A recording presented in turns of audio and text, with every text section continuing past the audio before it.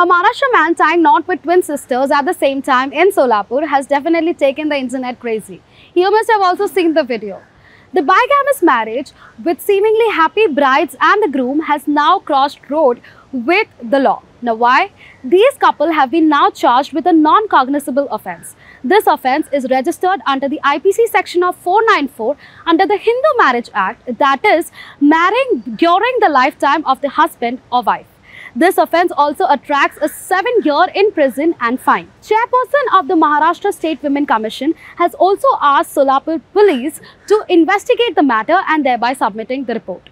Well, these two twins have taken things way too seriously by sharing everything in their life since their childhood. This time, they've taken it way too far. Now, at this time, when Uniform Civil Code is debated all over the country, this bizarre marriage has often taken out some eyebrows.